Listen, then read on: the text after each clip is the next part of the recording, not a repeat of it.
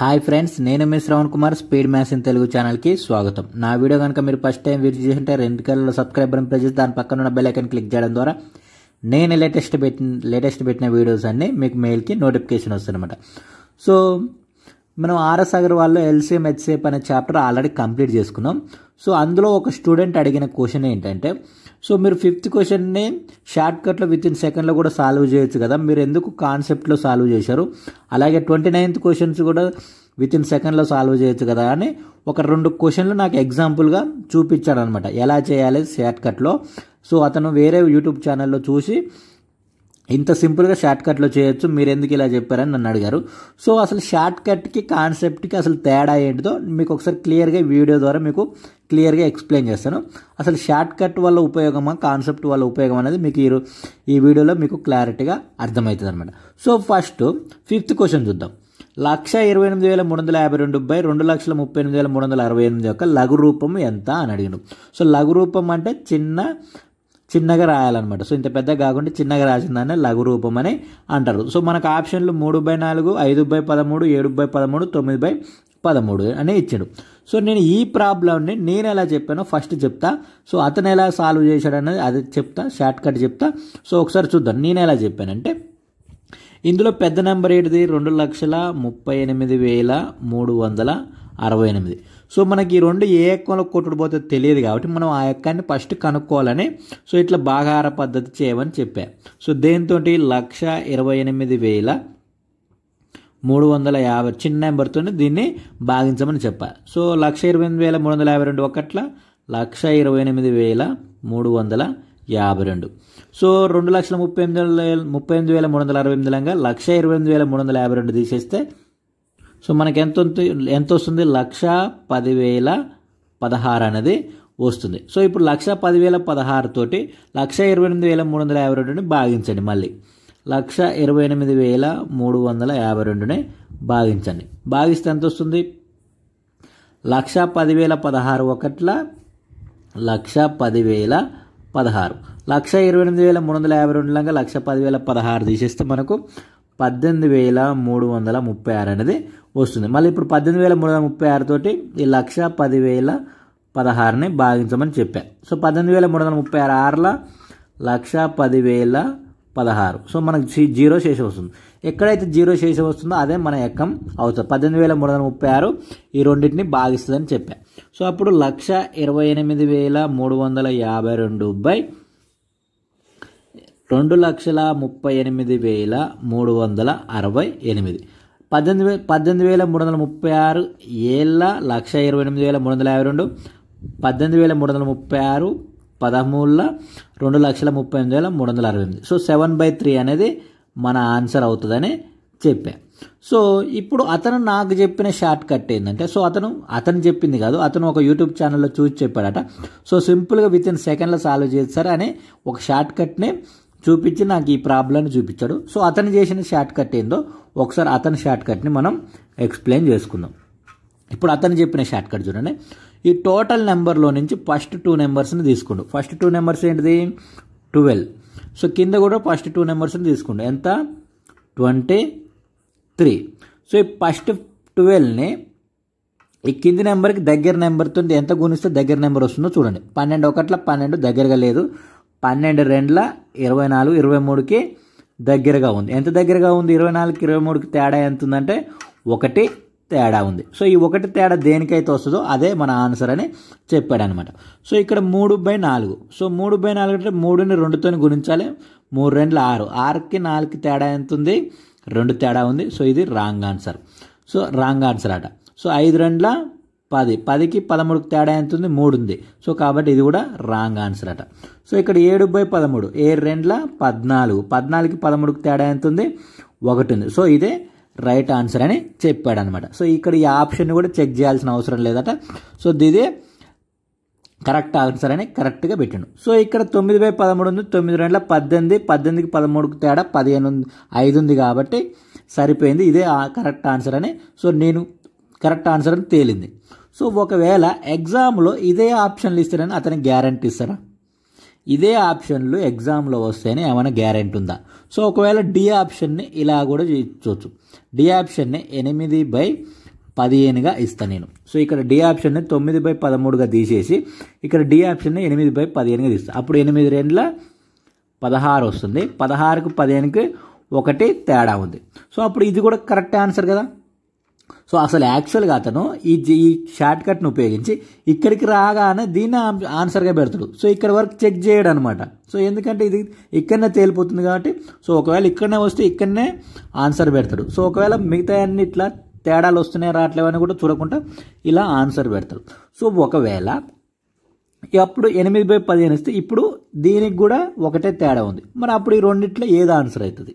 So అతనికి తెలియదు. Confuse అవుతుంటాడు అనమాట సో కన్ఫ్యూజ్ అయినప్పుడు అతనికి ఈ కాన్సెప్ట్ అనేది తెలియదు అనమాట తెలియనప్పుడు ఈ ప్రాబ్లాన్ని అతడు చేయలేడు. చేయలేకపోవడం వల్ల అతనికి వన్ మార్క్ అనేది లాస్ అవుతాడు అనమాట సో ఇలా షార్ట్ కట్ నేర్చుకోవడం వల్ల ఉపయోగం ఉంది నిరుపయోగం ఉంది. సో కాన్సెప్ట్ నేర్చుకుంటే నీకు షార్ట్ కట్ లేకపోయినా పర్వాలేదు. సో ఖచ్చితంగా ప్రాబ్లమ్ని ఖచ్చితంగా హండ్రెడ్కి హండ్రెడ్ పర్సెంట్ ఖచ్చితంగా చేయగలుగుతారు అనమాట సో అతను సో ఇప్పుడు క్లియర్గా అర్థమైంది షార్ట్ కట్కి? కాన్సెప్ట్కి ఎంత తేడా ఉందనేది. సో ఆప్షన్లు ఇలా ఇస్తేనే షార్ట్ కట్ ఉపయోగపడుతుంది. ఆప్షన్లు ఇలా ఇచ్చినప్పుడు షార్ట్ కట్ ఉపయోగపడుతుంది. ఆప్షన్లు ఎలా ఇచ్చినప్పుడు ఉపయోగపడేదే కాన్సెప్ట్ అనమాట ఆప్షన్లు వాడు ఎంత తిరగల మరగల ఇచ్చినా కూడా కాన్సెప్టే ఉపయోగపడుతుంది. సో ఆప్షన్లు ఈ విధంగా ఇచ్చినప్పుడు మాత్రమే షార్ట్ కట్ ఉపయోగిస్తుంది ఒకవేళ మార్చి ఎనిమిది బై పదిహేను అయిన ఇస్తే షార్ట్ కట్ నేర్చుకొని పోయిన వాడికి ఇది పెట్టాలా ఇది పెట్టాలా అన్నది కన్ఫ్యూజ్ అవుతాడు అనమాట సో నెక్స్ట్ అతను చూపించిన ఇంకో క్వశ్చన్ ఏంటంటే అందులోనే ఎల్సిఎం హెచ్సిఎఫ్లో ఇరవై తొమ్మిదో క్వశ్చన్ కూడా ఎగ్జాంపుల్గా చూపెట్టిను రెండు సంఖ్యల మొత్తం రెండు వందల పదహారు. వాటి హెచ్సిఎఫ్ ఇరవై ఏడు అయినా ఆ సంఖ్యలు ఏవి అని అడిగాడు. సో ఫస్ట్ నేను ఈ ప్రాబ్లం నేను ఎలా చెప్పానో ఒకసారి క్లియర్ చూద్దాం. సో రెండు సంఖ్యల్ని ఒక సంఖ్యని ఏ అనుకున్నా ఇంకో సంఖ్యని బి అనుకున్నా. సో హెచ్సిఎఫ్ ఎంత? హెచ్సిఎఫ్ ఇరవై ఏడు. సో ఇరవై ఏడుతో రెండు సంఖ్యల్ని గుణించాలి. అప్పుడు ఇరవై ఏడు ఇంటూ ఏ ఇరవై ఏడు ఏ. ఇరవై ఏడు ఇంటూ బి ఇరవై ఏడు బి. ఆ రెండు సంఖ్యలు ఏంటి ఏంటి ఇరవై ఏడు ఏ ఇరవై ఏడు బి. సో ఇప్పుడు మనకి ఏమి ఇచ్చిండు? రెండు సంఖ్యల మొత్తం ఎంత ఇచ్చిండు? రెండు వందల పదహారు.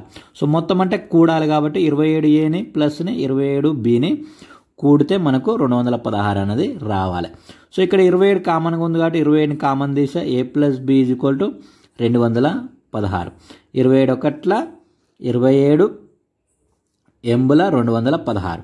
So A plus B is equal to మనకి ఎనిమిది వచ్చింది. ఏ ప్లస్ బి ఎనిమిది వచ్చే విధంగా మనం ఏవైనా సహప్రధాన సంఖ్యలను తీసుకోవాలి. అప్పుడు A is equal to one తీసుకొని B is equal to seven తీసుకుంటే మనకి A plus B is equal to eight వస్తుంది. అలాగే A is equal to three తీసుకొని బి ఈజ్కోల్ ఫైవ్ తీసుకుంటే ఏ ప్లస్ బి ఈజ్కోల్ కూడా ఎయిటే వస్తుంది. ఇంకేమైనా వస్తుందా? రాదు. మనకు రెండు జతలు అనేది వస్తుంది. సో సపోజ్ ఫస్ట్ జతను తీసుకుంటాం. ఫస్ట్ జతను తీసుకుంటే ఏ ఈజ్ ఈక్వల్ వన్ పెట్టండి బి ఈజ్ ఈక్వల్ సెవెన్ పెట్టండి. So twenty seven into one twenty seven first number అలాగే twenty seven into seven twenty seven into seven one eighty nine so one eighty nine so మనకు ఇంకో జత కూడా ఉంది. So ఇంకో జత ఏంటిది? సో మనం ఫస్ట్ జతనే తీసుకోవాలి. ఫస్ట్ జతనే ఆన్సర్గా పెట్టాలని చెప్పాను సో అప్పుడు ఇంకో జత కూడా తీసుకోండి. మూడు ఐదు. ఏ ఏ ప్లేస్లో మూడు పెట్టండి బి ప్లేస్లో ఐదు పెట్టండి. సో ఇరవై ఏడు ముళ్ళ ఇరవై ఏడు ముళ్ళ ఎనభై ఒకటి ఇరవై ఏడు ఐదుల నూట ముప్పై ఐదు. సో మనకి ఇక్కడ రెండు ఆన్సర్లు వచ్చినాయి. ఇరవై ఏడు నూట ఎనభై తొమ్మిది ఎనభై ఒకటి నూట ముప్పై ఐదు. సో మనకి ఇలా ఇరవై ఏడు నూట ఎనభై తొమ్మిది ఉంది కాబట్టి నేను ఈ ఆప్షన్ని పెట్టమని చెప్పాను అనమాట సో ఇప్పుడు ఆల్ అత అత అబ్బాయి చెప్పిన షార్ట్ కట్ ఏందో ఒకసారి క్లియర్గా చూద్దాం. అతను విన్న షార్ట్ కట్ చూద్దాం ఇప్పుడు. సో ఇప్పుడు రెండు సంఖ్యల మొత్తం రెండు వందల పదహారు అనమాట సో రెండు సంఖ్యల్ని కూడితే మనకు రెండు వందల పదహారు కావాలి కాబట్టి సో ఈ రెండు సంఖ్యలను కూడితే మనకు రెండు వందల పదహారు వస్తుందంటే రావట్లేదు కాబట్టి ఇది రాంగ్ ఆన్సర్ అట. సో ఈ రెండింటిని కుడితే రెండు వందల పదహారు వస్తుంది కాబట్టి సో ఇది ఓకే ఈ రెండింటిని కుడితే రెండు వందల పదహారు వస్తుందా? తొమ్మిదిని ఒకటి పది. సో రావట్లేదు కాబట్టి ఇది కూడా రాంగ్ ఆన్సర్ ఈ రెండింటిని కుడితే రెండు రెండు వందల పదహారు వస్తుంది అంటే వస్తుంది కాబట్టి సో ఇందులో ఇందులో ఏదో ఒకటి ఆప్షన్ అవుతుంది అనమాట సో ఇప్పుడు చూడండి. హెచ్సిఎఫ్ ఇరవై ఏడు అని ఇచ్చిండు. సో నెక్స్ట్ ఏంటిది? హెచ్సిఎఫ్ ఇరవై ఏడు ఇచ్చిండు. సో ఈ రెండింటిని కుడితే ఈ రెండింటి యొక్క హెచ్సిఎఫ్ ఎంత వస్తుంది ఇరవై ఏడు నూట ఎనభై తొమ్మిది హెచ్సిఎఫ్. ఇరవై ఏడు ఒకట్ల ఇరవై ఏడు అలాగే ఇరవై ఏడు ఏళ్ళ నూట ఎనభై తొమ్మిది. సో దీనికి హెచ్సిఎఫ్ ఎంత? ఇరవై ఏడు వస్తుంది. సో దీని హెచ్సేపు ఇరవై ఏడు వస్తుంది కాబట్టి ఇదే రైట్ ఆన్సర్ అని చెప్పిండు. సో ఓకే బాగానే ఉంది క్లియర్గా ఉంది. సో ఆప్షన్లు ఇలా ఉన్నాయి కాబట్టి సార్ దీని హెచ్సేపు నూట ఎనిమిది వస్తుంది కాబట్టి ఇది రాంగ్ ఆన్సర్ కాబట్టి ఇలా చెప్పిండు. సో నేను ఇక్కడ సి ఆప్ సి ఆప్షన్లో నేను ఇంకో ఈ ఆప్షన్ ఇస్తా. ఎనభై ఒకటి నూట ముప్పై ఐదు అనే ఆప్షన్ ఇస్తా. సో ఇప్పుడు చూడండి ఇప్పుడు దీనికి హెచ్సిఎఫ్ ఇరవై ఏడు వస్తుంది అలాగే రెండింటిని కూడితే మనకు రెండు వందల పదహారు వస్తుంది. సో ఒక ఆప్షన్ నేను ఎనభై ఒకటి మూడు వందల నూట ముప్పై ఐదు ఇచ్చిన. సో ఈ రెండింటిని కుడితే మనకు రెండు వందల పదహారు అనేది వస్తుంది సంఖ్యల మొత్తం. ఏ ప్లస్ బిని కుడితే మనకు రెండు వందల పదహారు వస్తుంది. మరి వీటి యొక్క హెచ్సిఎఫ్ ఎంత వస్తుందో చూద్దాం. ఎనభై ఒకటి నూట ముప్పై ఐదు. సో ఇరవై ఏడు ఎక్కని తీసుకోండి. ఇరవై ఏడు ఎక్కని తీసుకుంటే ఇరవై ఏడు మూల ఎనభై ఒకటి అలాగే ఇరవై ఏడు ఐదుల నూట ముప్పై ఐదు. దీని హెచ్సిఎఫ్ ఎంత వస్తుంది మనకు? ఇరవై ఏడే వస్తుంది. ఈ దీని హెచ్సిఎఫ్ కూడా ఇరవై ఏడు వస్తుంది. అప్పుడు ఈ ఆప్షన్ కూడా కరెక్టే అవుతుంది. ఈ ఆప్షన్ కరెక్టే? ఈ ఆప్షన్ కరెక్టే? మరి ఈ రెండిట్లో నువ్వు ఏ ఆప్షన్ పెడతావు? సో నీకు ఫస్ట్ మీరు చెప్పి నీకు తెలిసిన షార్ట్కట్ ప్రాబ్లం నీకు ఫస్ట్ ఆప్షన్ ఇందులో ఉంది కాబట్టి ఈ రెండింటిని కొడితే నీకు రెండు వందల పదహారు వస్తుంది. ఈ రెండింటి యొక్క హెచ్సేపు నీకు ఇరవై ఏడు వస్తుంది కాబట్టి నువ్వు ఈ మూడు చెక్ చేయవు ఇక. ఈ మూడు రాకపోయినా గిట్ట నీకు ఇందులో సాటిస్ఫై అయింది కాబట్టి నువ్వు ఇదే ఆన్సర్ పెడతావు. సో నువ్వు ఇక ఈ మూడుదే ఈ మూడిటి జోలికి వెళ్ళవు అనమాట సో ఇక్కడ ఇది చెక్ చేస్తే కూడా నీకు సేమ్ వస్తుంది చూడండి. ఇది చెక్ చేసిన నీకు హెచ్సేపు ఇరవై ఏడు వస్తుంది. అలాగే ఈ రెండింటిని కూడా వల్ల రెండు వందల పదహారే వస్తుంది.